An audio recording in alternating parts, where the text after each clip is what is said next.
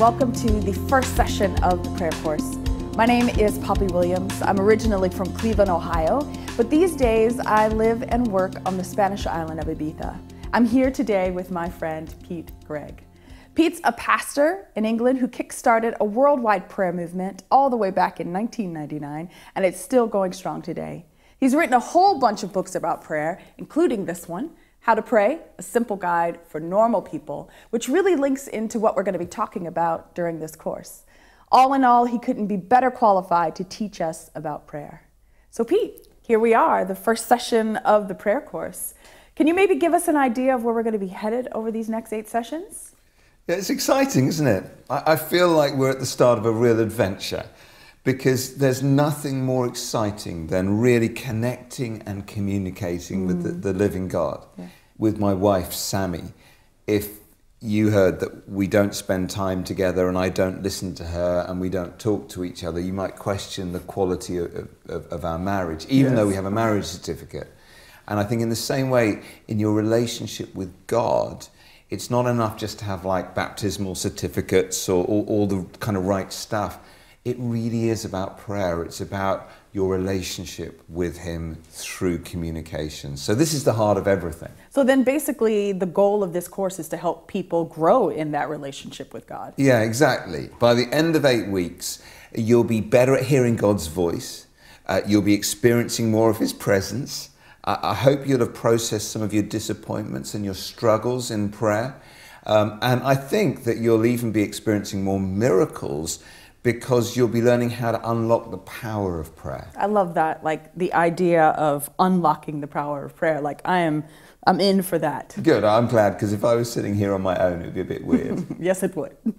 So your your book is called How to Pray: A Simple Guide for Normal People. So is this course going to be the same? Like, is this for everybody? Yeah, it's it, it really is, and I can't guarantee every, everybody watching this is going to be normal, uh, but we are going to try and keep it simple and we're going to cover a lot of a lot of ground.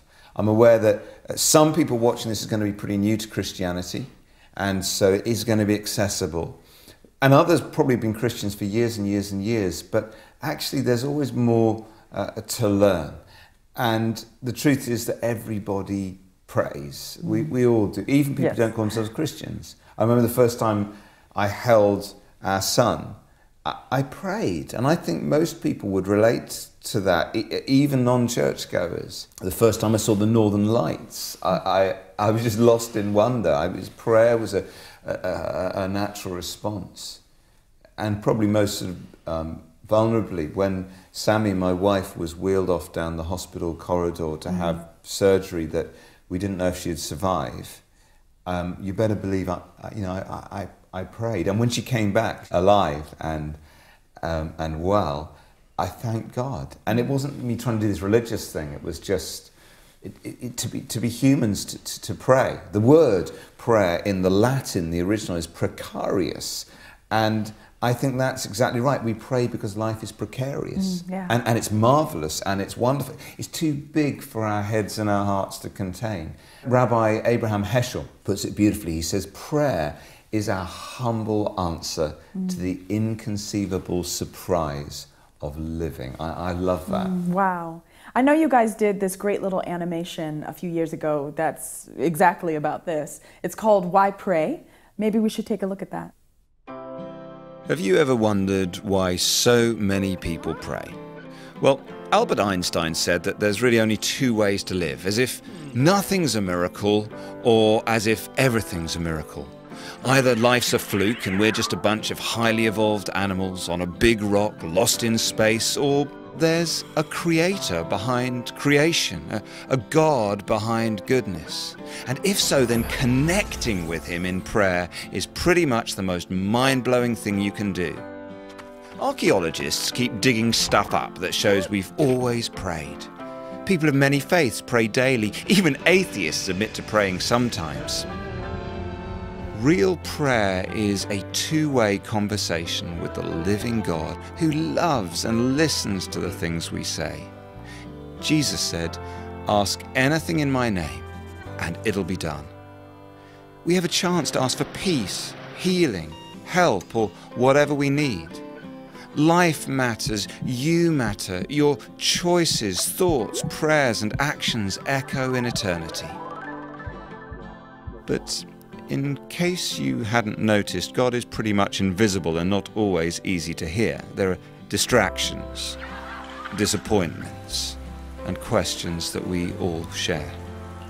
That's why 24 7 prayer does stuff to help thousands of people in hundreds of places connect with God in new ways. People are learning to pray by just praying. And today, millions are discovering that God's real. Life's a miracle. And the most powerful thing you can ever do is to pray. So, on this course, we're going to be working through the Lord's Prayer. And uh, it might make sense to take a look at that now together. Uh, this is Luke chapter 11, verses 1 to 4, where Jesus gives the Lord's Prayer. And we read verse 1 One day Jesus was praying in a certain place, and when he finished, one of his disciples said to him, Lord, teach us to pray, mm. just as John taught his disciples. And he said to them, When you pray, say, Father, hallowed be your name. Your kingdom come. Give us each day our daily bread. Forgive us our sins, for we also forgive everyone who sins against us. And lead us not into temptation. The one thing that the disciples explicitly asked Jesus to help them with was prayer. Lord, teach us to pray. They didn't ever say, you know, teach us to preach or teach us to plant churches or teach us to share our faith. They said, teach us to pray because they could see that this was the key mm. to everything about their rabbi's ministry. And they say, teach us to pray. Now, these men went on to have incredible prayer lives. They prayed over handkerchiefs and people got healed. They right. prayed, people raised from the dead. They even prayed for their persecutors at the point of death. So, so they went on to have amazing prayer lives, but it has to begin at a moment in time where they just humbly kind of say, we, we actually need help in this area. And that's what we're doing really at the start of the prayer course. We're just mm. saying, Lord, teach us to pray over these eight sessions. Because yeah. we all find it difficult. I love the story of Teresa of Avila, who was like this big saint, this holy nun. And she once admitted that sometimes she shakes her um, hourglass to make her hour of prayer go quicker, which I can really relate to. Yes, I can relate to that as well. Because you know, prayer is difficult, isn't it? And, and the good news of this story, where Jesus gives the Lord's Prayer, is that when we ask Him for help, He promises to help us. Can you maybe give us an idea about how the next eight sessions are going to break down? When you say to people the word prayer, everyone has a different idea of what that actually uh, means. And that's because really there's lots of different ways of praying. Um, there isn't just one way. It's a bit like this toolbox here. There's a bunch of, a bunch of different tools, hammers and you know, screwdrivers and all stuff. And, and the thing is, Uh, obviously everyone knows every tool is there to do a different job. And if you called a handyman round and said, can you fix something? He said, well, I only know how to use a hammer, but I don't use a screwdriver. You'd think he wasn't a very good handyman. Not a good handyman Not, at all. Yeah. And, and in the same way with prayer, why limit yourself? There's a whole range. The, the Lord's Prayer is a bit like a toolbox. And we're going to go through those different tools together on this course. So, first of all, you've got Our Father in heaven, hallowed be your name. So, that means next session we're going to be looking at adoration, the hallowing of God's name. And then there's Your kingdom come, Your will be done. That's intercession. Mm. And then it's Give us this day our daily bread. Well, that's a number of things. Firstly, that's petition. Petition is asking God for our own needs. Intercession is asking God for other people's needs. Okay. But daily bread is also about listening to God because His word is spiritual as well as physical. So we're going to think um, about listening and about unanswered prayer as well because we all have disappointments and struggles and we need to be honest about those. Uh, we're going to look at contemplative prayer. And then there's deliver us from the evil one. Well, that's kind of to do with spiritual warfare. So we're going to look at all sorts of different tools, different types of prayer. And online on the Prayer Course website, we've got a tool shed where there's just lots of practical little articles on different types of prayer, like how to keep a journal or how to go on a pilgrimage or how to fast. And, and, and so, um, as well as these videos and the discussions in groups, you can go there and get lots of tips on how to use all the different tools. Oh, wow, that, that sounds so amazing. Um, tell me though, like, what would you say to the person that's out there right now? They're watching, they've just gotten started with all of this, and in their minds, they're thinking, I just thought prayer was prayer. And you guys are using all these big words like adoration or intercession. Right. Yeah, the, best bit of advice I ever got about prayer was keep it simple, keep it real, and keep it up. I like that. Keep it simple, keep it real, keep it up. Yeah, your prayer life really is at its best when it's at its simplest. I always tell the story about um, I was walking down the street near where I used to live one day, and God spoke to me. Um, it wasn't an audible voice, but it was it was just this really strong impression, sort of out of nowhere, that I've learned to recognize can often be the voice of God. And and the, and the impression was random. It was look at that tree, and so I I froze and I stared at this tree in the street. And it looked like some idiot, really, and people walking past thinking I'm having some kind of episode. And I'm thinking, what you know, is this like going to be my burning bush Like moment? you're waiting for something to happen. Right, you know, the tree's going to fall over, I'm going to save someone or whatever. and, and eventually it's getting embarrassing. So I say, okay, God, what happens now? I'm looking at the tree. And I sensed that he said, I just thought it was a great tree. Uh, good, and, and so I'm there going, good job on the tree, Lord. And I guess he said, thanks very much. Here's the point. I know it's like the most underwhelming story of all time, but actually, your prayer life is at its best when you're saying stuff like, good job on the tree, or, you know, thank you for this lovely day, or whatever. Adam and Eve used to walk and talk with God in the cool of the evening every day before, this is important, before there was any sin or sickness or suffering in the world. So we have to mm. ask, what, what did they talk to him about? Right, right. right? Because mostly, I don't know about you, mostly what I speak to God about, if I'm not careful, is problems. It's, you know, healing or, you know, confessing sin, asking God for help with Yes. problems. It, it, people I want to see saved. And actually, they must have just said to him things like, good job on the tree. Mm. And, and, and one day there will be no more sin or sickness or suffering in the world, but there'll be you and God. So what will you talk to him about? So that's the thing. is Our prayer lives really are at their best when we are simply walking and talking with God about the real stuff of, of life. So your prayer life is at its best, at its simplest. Exactly. And Jesus says that explicitly. If we read the message version of Matthew chapter 6, Okay. listen to this. I really, I mean, this, this is kind of teaching that, you know, is right at the heart of the prayer course. Jesus says, Matthew 6, verse 6, here's what I want you to do. Find a quiet, secluded place so that you won't be tempted to role play before God. I love that. Exactly. Role play before God. I, I think I might have done that at times. Just be there, he says, as simply and honestly as you can manage. And the focus will shift from you to God, and you'll begin mm. to sense his grace. The world is full of so called prayer warriors who are prayer ignorant. They're full of formulas and programs and advice, peddling techniques for getting what you want from God.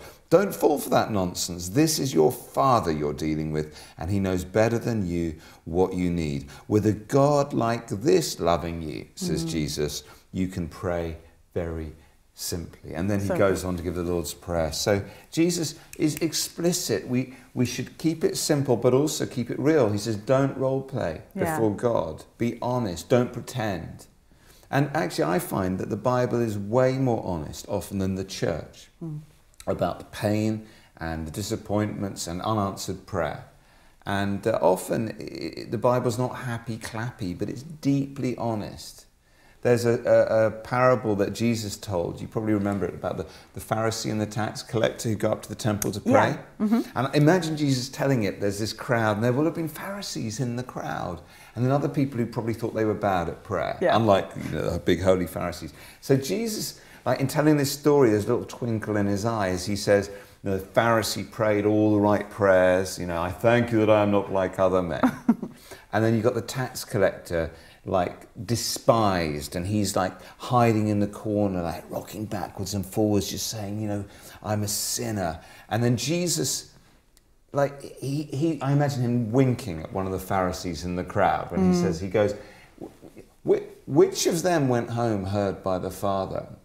It was the tax collector. So jesus is saying be honest be real be yourself with god. So we've got to keep it simple keep it real. But also jesus just says keep it up. Don't give up praying too soon. And again he told another parable about a widow who lost a coin. And he says explicitly in that you must keep praying and not give up. When, when our son Danny was really little, he got to that stage where he wanted to be able to write, but he, he couldn't. Okay. And so he would scribble away on bits of paper, and, um, and, and we would encourage him. So he would, you know, bring, he'd say, look what I've written, and you'd say, great job, it's like Shakespeare, you know. and, but then one time he did this, and then he said, Dad, read it. And I, I, you know, you stare at it well, obviously it's nonsense, it doesn't make any sense. but what I found was I could look at his face, hmm. and as his dad, I could read his face. I knew the kind of day he had had, the weird little things that go on in his head, the way he's feeling. I could probably even see his dinner on his face. and so I guessed at what the scribbles meant. And as I, as I read his scribbles, he was there nodding, saying, you know, good job, Dad. Good reading. Well done. And I, I said thank you because it really was some of the best reading I'd ever done. And I do think prayer is a lot like that. We kind of obsess about getting the right words, the right techniques, but it doesn't impress God. Our Father in heaven reads our faces, our hearts. He knows the kind of day we've had, the weird little things that go on in our head, and He interprets our, our, our prayers. And that's exactly what it actually says in Romans chapter 8, one of the, the great passages about prayer in the Bible, hmm. starting at verse 26 of, of Romans 8. Listen to this and, and think of that image of Danny with his, his, his scribbles. In the same way, the Spirit helps us in our weakness. We do not know what we ought to pray for. Do you ever feel like that? Absolutely. We don't know what to pray for, but the Spirit Himself intercedes for us with groans that words cannot express. So imagine the next time you, you're trying to pray, you don't know if you're getting through, you don't know if you're quite articulating what's really going on. The Holy Spirit is interceding in groans Yeah. for you at that moment. And He who searches our hearts. So imagine me uh, searching the heart of my Son, your Father in heaven. He who searches our hearts knows the mind of the Spirit because the Spirit intercedes for the saints in accordance with God's uh, will. So that's just a beautiful description of, of it's not about the scribbles, it's about the heart. I love that. It's just so reassuring, right? That, that the Holy Spirit is doing that when we don't know what to say. He's interceding for us.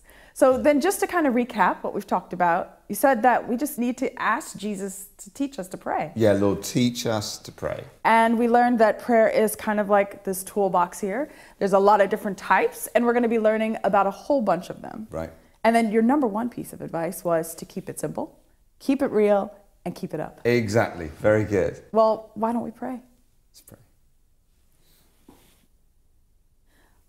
Lord Jesus, would you please teach us, teach us to pray. Thank you that we don't have to get it all right all the time, that we just need to uh, present our hearts to the Father, just like Pete's son Danny with his drawings. Holy Spirit, uh, there are so many times when we don't know what to say. Would you please help each one of us to grow closer to you and deeper in prayer over the coming weeks?